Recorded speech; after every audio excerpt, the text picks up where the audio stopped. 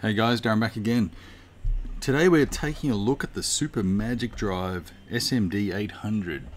This is a device from the 90s that basically allows uh, you to.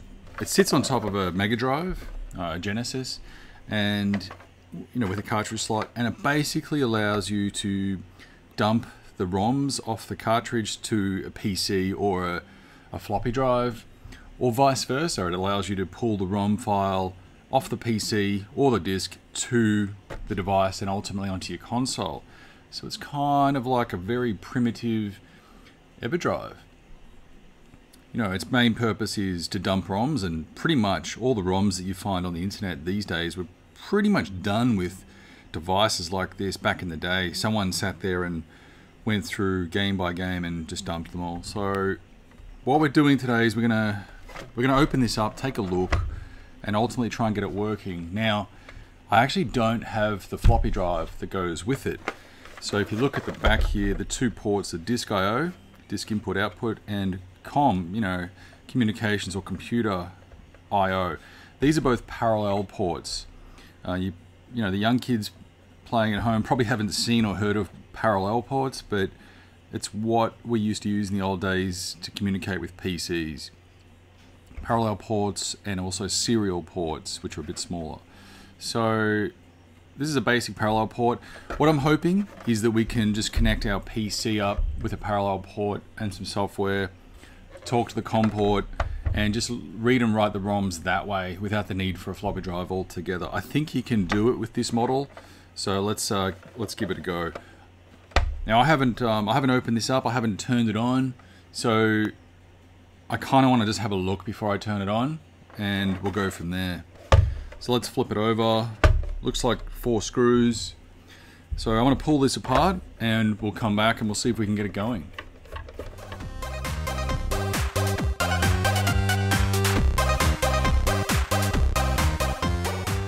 So the screws are out. I've tapped them out and we've got got four screws and we've got a bit of dirt that came out. Let's see if we can pop the lid. Yep, that comes off really easily. Not much going on there. Wow, look at the board. Okay. Ooh. Right. Can you see can you see that? That's the battery which is corroding. So we'll come back to that. Uh, and that's why I like to have a look at things like this before I power them on because that could be a problem. We've got a ROM chip here which we can program. Oh, there's actually two ROMs under there. Huh. I might be able to lift this off. Let's have a look. Does that come off? Yeah, it does. Let's gently prise this up. SMD 94V-0. That's kind of cool. Yeah, so there's actually two ROMs there.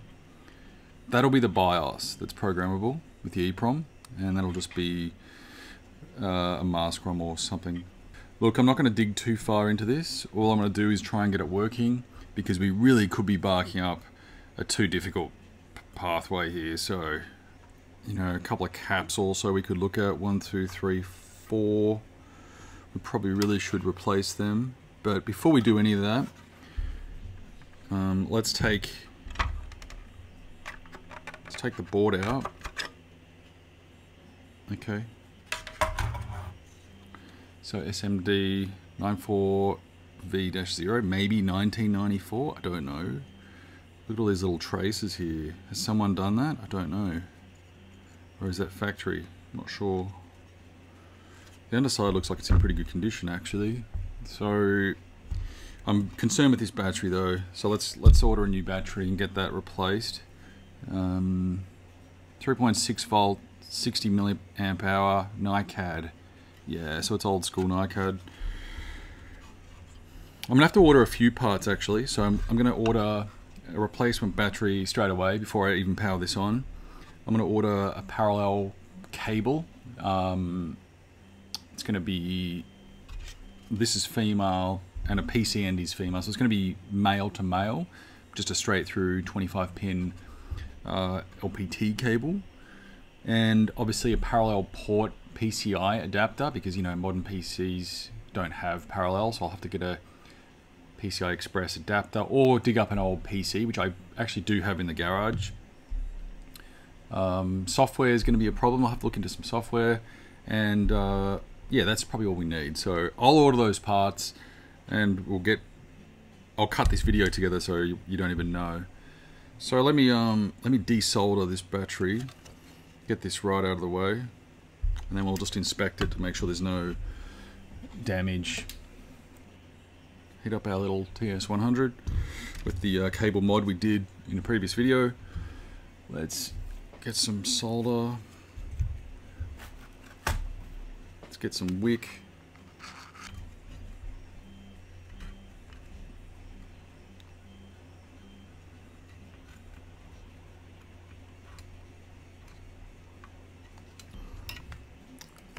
Okay, so I've got that pretty much done. Let me just zoom in on that.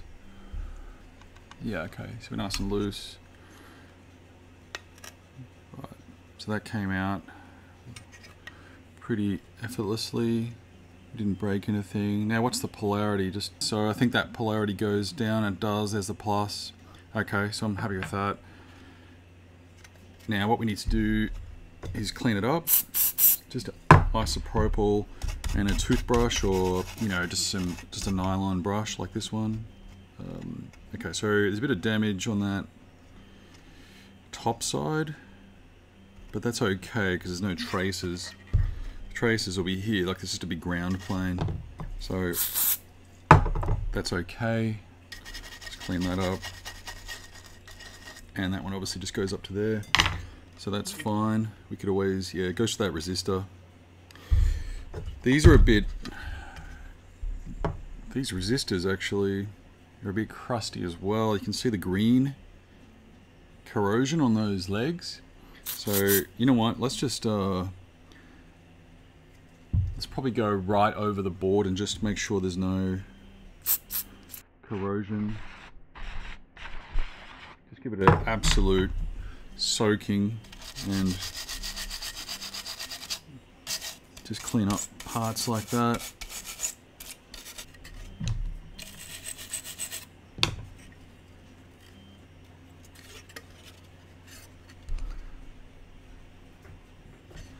That's unusual. What's going on with that one there? I don't know what that big stain is actually. Is that is that a leaked capacitor? It doesn't look like it. It's very odd. They're not electrolytic, so I don't know, you know, there's plenty of them around. I don't know what that stain is.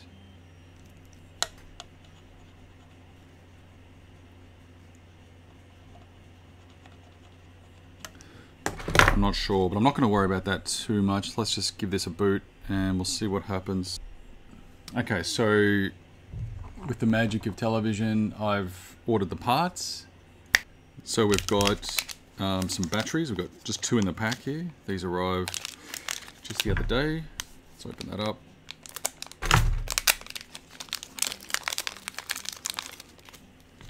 And fairly sure that's the same.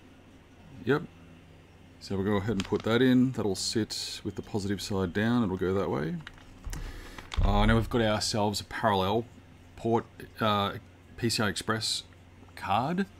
So there's your parallel port, you know, the standard rear PC header, a couple of chips to make it run, and just your very basic PCI Express slot. Uh, I got a good brand. I found this one secondhand in the UK actually, and just shipped it over. StarTech.com. The reason I picked this one is because I know it has Windows 10 drivers. So I'm going to attempt to get all this running on Windows 10. It's probably a bit silly. I probably should use XP. That's the generation of this stuff. But I'll give this a go. Um, Windows may detect it, but if not, I know there's drivers to make that work. So that's why I picked that. Um, and of course a parallel cable. So it's just, uh, well, that's a bit squashed that end, but we'll fix that. Male on both ends, just a standard um, parallel cable. So go ahead and open that up. Yeah, that must have got crushed in transit. That's okay. I'm not going to worry about that too much. Just bend that casing back. There you go. It's as good as new. So that should plug into there, which it does. Right, so that's our parallel end. This end will go into the back of the unit, like that. Uh, and that's our that's the theory. So I'll go ahead and install this sort of stuff. You don't really need to see me put this inside a computer. It's just open the case, power it down, plug it in, power it back up. Okay, so that's all that is. And if that doesn't work and I can't get this working on Windows 10, I'm going to dig up an old XP ancient computer I actually do have in the shed uh, which has a built-in serial and parallel port on the, on the motherboard. So that'll be our backup and we can just chuck the software on that PC instead if we need to. But hopefully this works for Windows 10. So just double check I've got the correct polarity, which I do.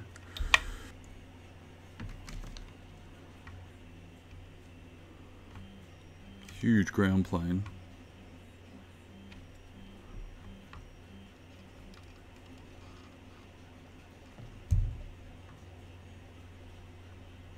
Okay, so that's all plugged in.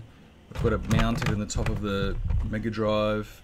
I've got this manually switched to Japanese. Um, so it's in uh, Japanese mode just to make it maybe more compatible, but we'll try uh, USA and PAL as well. So batteries in, I put the daughter board back in, parallels all connected. Uh, so let's give it a go. And if you, okay, so we got, it works. Let me just pan you over to the screen.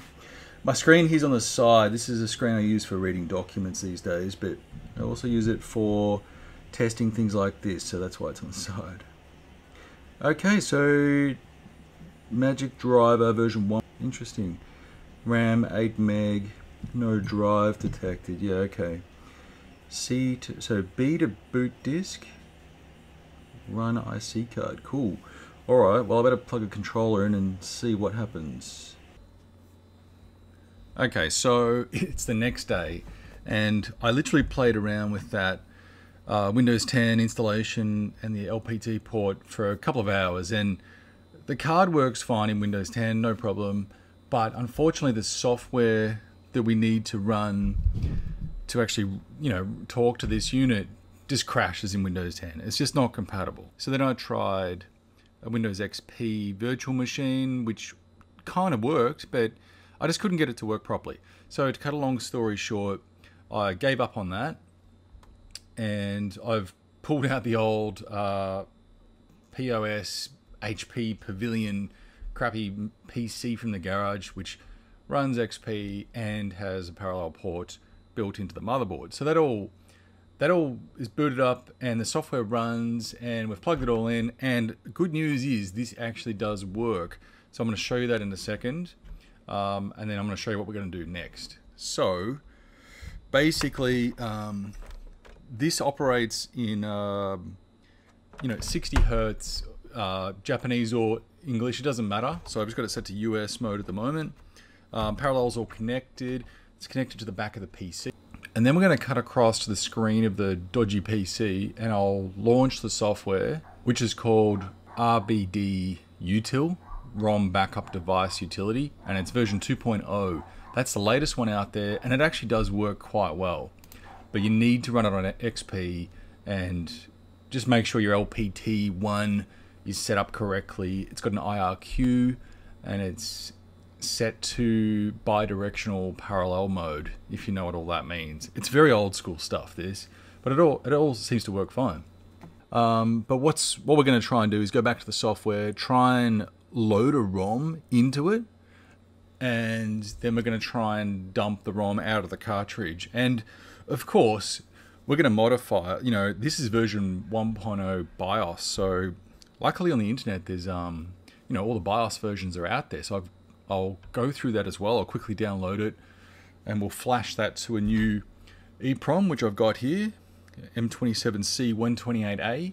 We'll flash that with the latest, uh, you know, version 3 BIOS, and we'll see how that works as well. But right now, at least this is sort of working. So without any further rambling, let me cut you across to the dodgy PC. The quality will drop a little bit, um, and we'll go from there.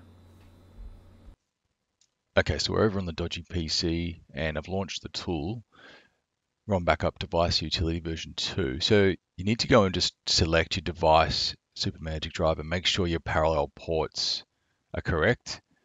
Make sure that you know the LPT1 was correct. Then here's the game. So that you need to look at the size of the games.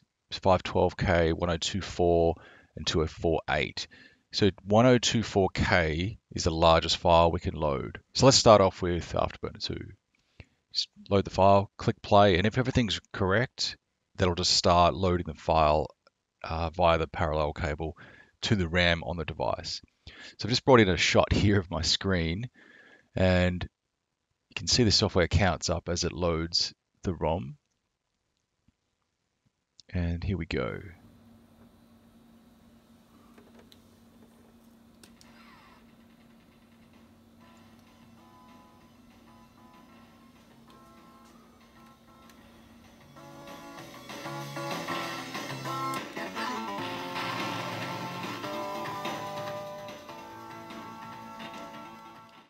So that all seems to work pretty well. So let's try another one. Let's try Castlevania. So just open, grab the ROM file, and load. Now you'll notice um, down the bottom left there it says 8192. So the amount of RAM we've got is 8. Uh, 8 uh, 8,192 kilobits. So we need to divide 8192 by 8 to get to kilobytes, which is 1024 and that's the maximum size ROM we can load, 1024K. So you sort of hope you understand how that works. So we can load most ROMs, but not all because a lot of the Mega Drive Genesis ROMs went over 1 meg.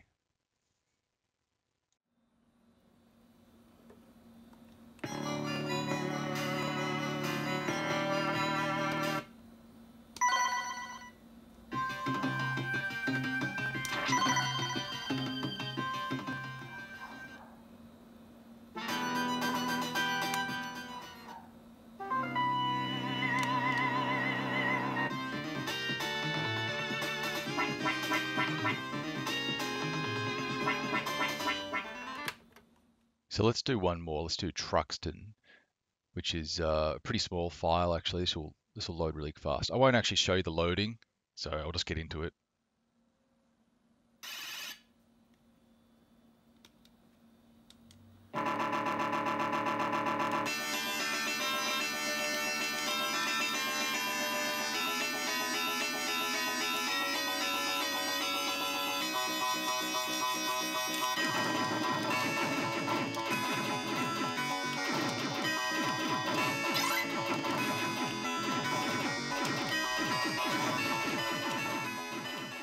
In the research for this video, you know, I had to had to find the BIOS files. I had to find information on this old device, and luckily there's a lot of information out there. So the Sega Retro site is really good. They pretty much have everything listed, uh, including the BIOS files to download, which is where I got them from.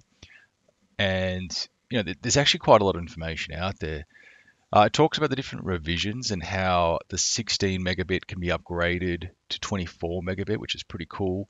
Uh, I don't know if my 8 megabit version can be upgraded. I, it probably can with the right chips, but I don't really know how to do that. Um, so I'm just going to leave it for now. The BIOSes are interesting. So version 4.1 is only for the very last revision. Uh, and at this point in time when I was making this, I didn't realize, but but the, all of version 3 kind of versions, they're also for later versions. They actually don't work on the one I've got. But I went through the exercise of downloading them and flashing them to a BIOS file, and I tried them out. So that's the process there. I'm not going to really show you that in detail because it ultimately didn't work. But it's pretty basic to do. There's no problem at all.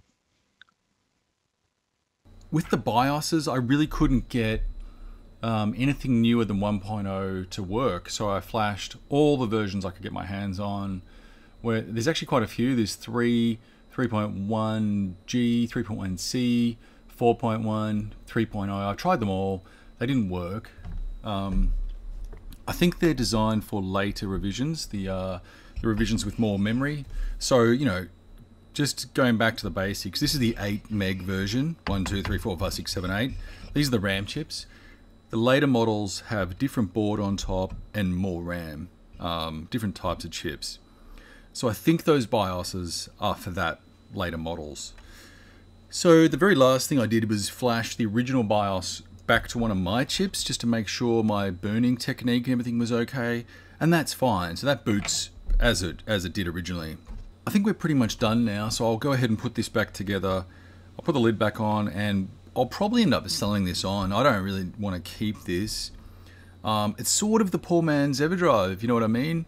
We've got um, ROM supports. You can basically grab your ROM, throw it on the device, and you can play it on real hardware.